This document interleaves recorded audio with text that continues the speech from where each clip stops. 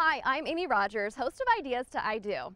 How do you bring to life a royal wedding theme? Over the Top Rental Linens was brought in to the planning of this wedding to provide linens for the reception. But these weren't just any tablecloths, they were custom designed just for this royal celebration.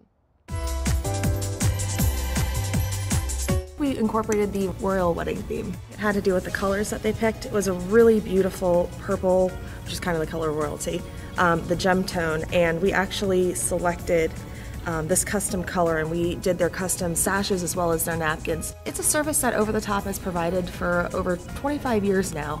Um, one of the few companies that are willing and able to make custom couture linen for our clients and their needs.